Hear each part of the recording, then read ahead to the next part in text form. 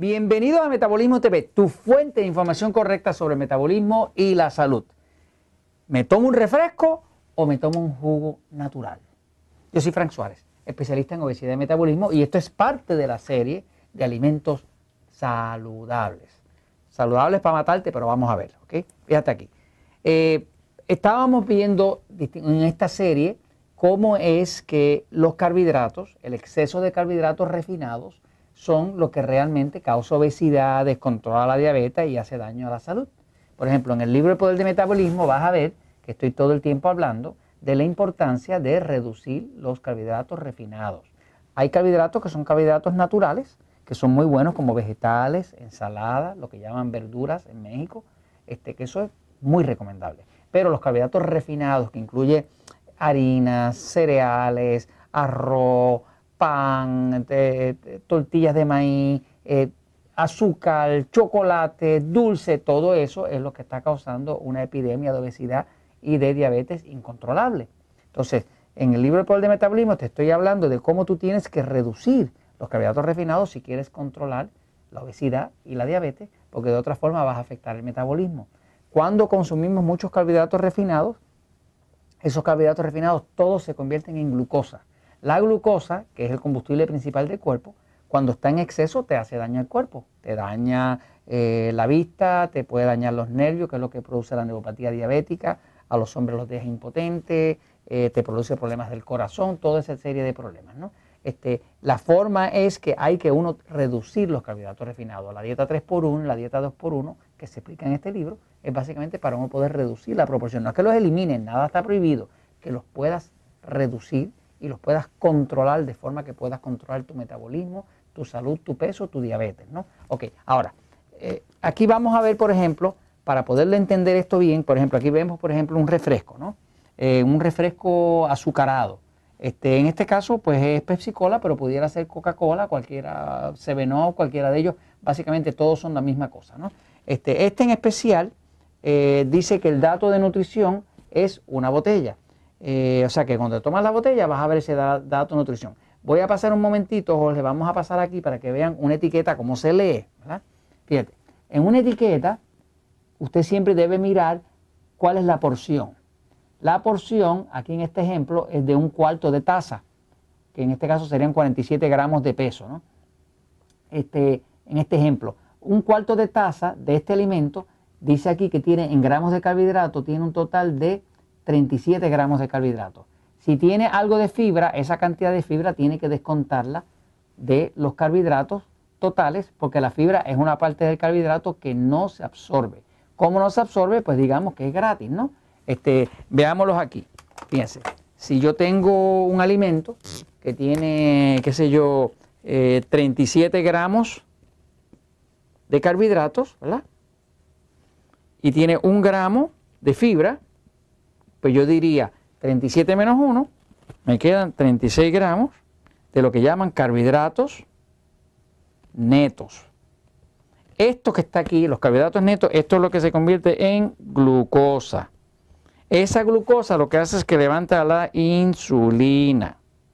Y esa insulina junto a la glucosa es lo que produce la grasa. Fácil. Usted quiere reducir la grasa del cuerpo, tiene que reducir la glucosa, tiene que reducir la insulina y se va la grasa.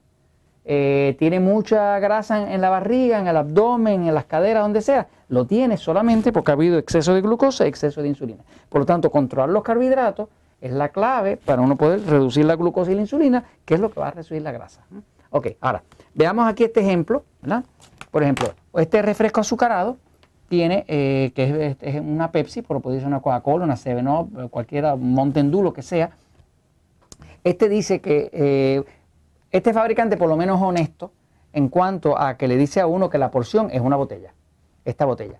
Esta botella, eh, pues tiene 20 onzas, que son 1.25 pintas, 591 mililitros. Este está diciendo la verdad, ¿no? Eh, hay fabricantes que le dan una botellita pequeña y le dice que tiene dos porciones. Eso lo hacen solamente para que la lectura de aquí le parezca a usted como que es menos. Pero la realidad es que todo el mundo sabe que uno toma esto en la mano y se lo va a tomar completo. Eh, en este caso, este, este refresco como tal tiene un total de 69. Ay, madre mía, Jorge. Wow. Jorge, esto está terrible. 69 gramos de carbohidratos.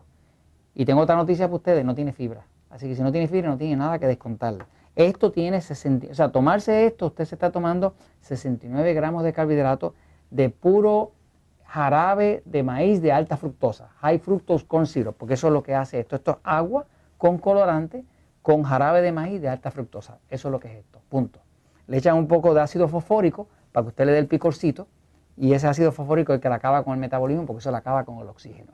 Así que básicamente aquí tiene 69 gramos de carbohidratos. Ahora, para poder uno entender qué son 69 gramos de carbohidratos y qué, qué equivalente sería eso en azúcar en el cuerpo, podemos utilizar eh, un eh, sobrecito de azúcar. Este sobrecito de azúcar es como los que se usa para endulzar el café. Este, esto tiene 2.8 gramos de carbohidratos. ¿no? ¿Cuánto es esto? ¿Cuánto sería tomarse una botella de esto? Pues vamos a ver aquí. Aquí sería igual a esto. Tomarse una botella de esta Pepsi, de, esta, de esos 69 gramos de carbohidratos, sería equivalente a esta cantidad de eh, sobrecitos de azúcar. Uno, dos, tres, cuatro, cinco, seis, 69 gramos, vamos a llegar. 7, 8, 9, 10, 11, 12, 13, no es impaciente que vamos a llegar. 14, 15, 16, 17, 18, 19, 20, 21, 22, 23, 24. Casi llegamos. Son 25. O sea, 69 gramos de carbohidratos, calcúlelo, divídalo por 2.8, que es lo que trae un sobrecito de azúcar. Usted tiene aquí 25 sobres de azúcar. Sería tomarse esto, ¿no? Es el equivalente de eso.